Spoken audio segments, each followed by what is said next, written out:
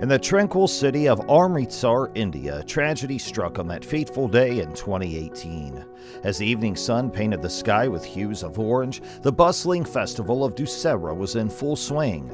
Little did the joyous crowd gathered near the railway tracks know that their lives were about to be shattered by an unimaginable disaster.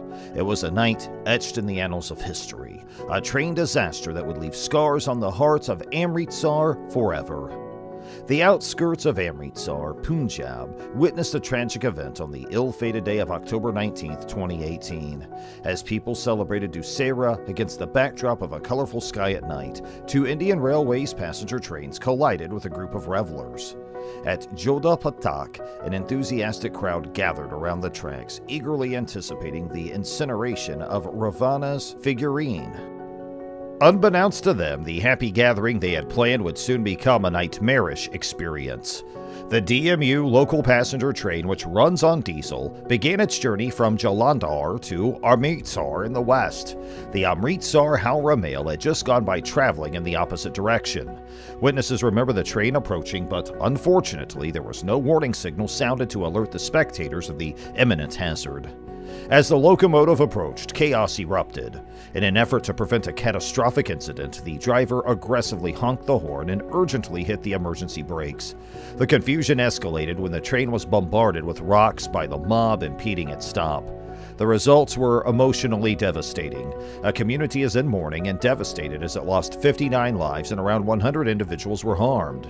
Navjot Kaur Sidhu, and a distinguished member of Congress and a special guest at the gathering, was among the guests present. Sidhu made it clear that this event was a customary occurrence that took place every year, and he had communicated to the railway officials to reduce their velocity.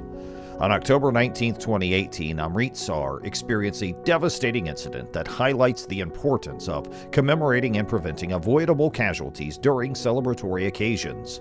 This idea should inspire us to create a global society where festivities are accompanied by long lasting joy and complete safety. Following the terrible incident, the distressing truth was revealed. Elected officials have verified a minimum of 59 fatalities. On the evening of October 19th, 50 bodies were discovered, with the remaining nine being found on the subsequent day. The train's tremendous force resulted in severe damage, causing victims to be dismembered and mutilated, complicating the process of identifying them.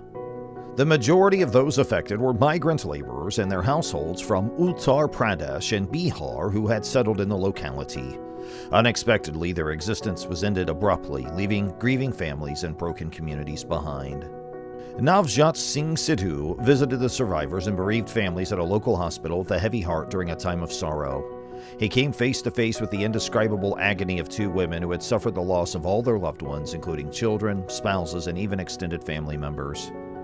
The sacred Shitya Mata temple in Amritsar served as a cremation ground for most of the identified deceased individuals who were being paid tribute to. A melancholic parting to those who departed prematurely, as a handful were returned to their places of origin for their final resting place. Despite the sadness, disturbing accounts emerge that certain people exploited the turmoil by reportedly pilfering valuable possessions from those affected and left alive. Families expressed their distress over the fact that their loved ones' personal belongings had not been returned despite receiving their bodies.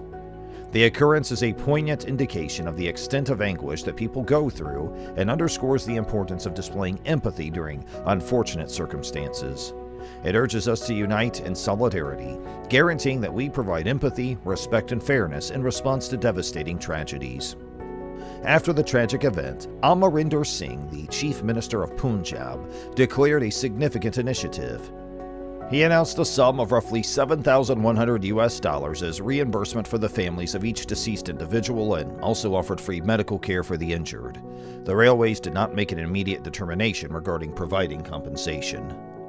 A day of mourning was declared by the state as a mark of respect for the victims, with Chief Minister Singh initiating an inquiry to determine the cause of the accident. Meanwhile, Minister Navjot Singh Sidhu, along with his wife, pledged to adopt all the children who lost their parents, providing them with education and taking care of their expenses. Financial assistance was also extended to women who lost their husbands in the tragedy.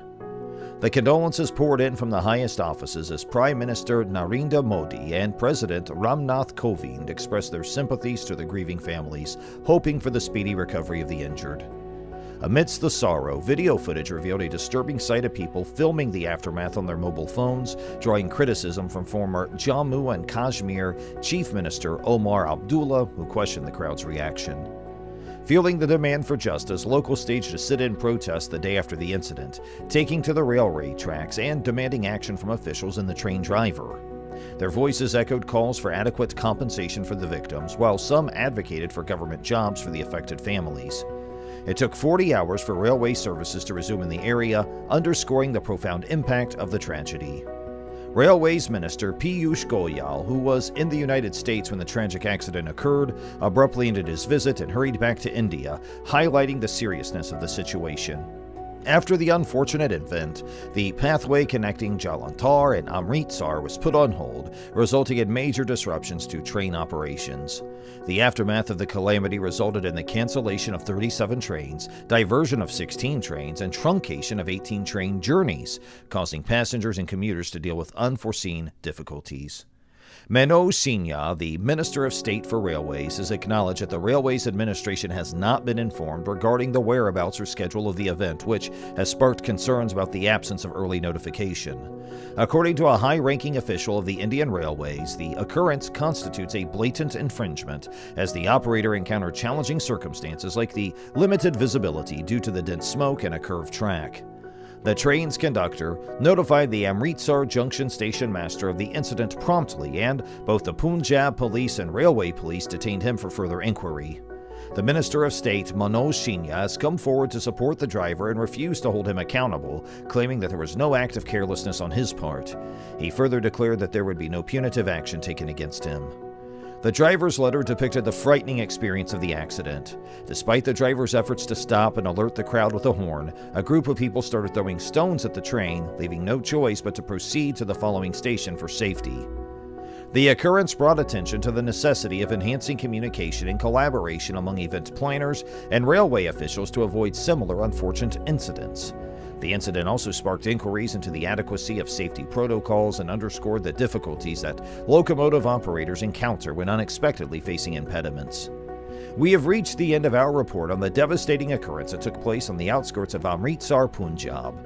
On October 19, 2018, during the vibrant celebration of Dussehra by Hindus, there was a collision between two Indian Railways passenger trains and a group of individuals who had assembled on the tracks. The consequences of the event were severe, resulting in the death of 59 people and injuries sustained by approximately 100 individuals.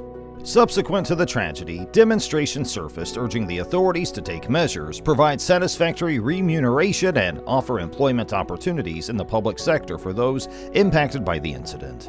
The railway authorities encountered inspection as doubts were raised by their awareness regarding the festival's schedule and venue. The driver was apprehended for inquiry after promptly reporting the occurrence, but he justified his position by claiming that he was unaware of the presence of the people on the tracks. The occurrence highlighted the necessity for better safety protocols and communication practices for gatherings that involve the public.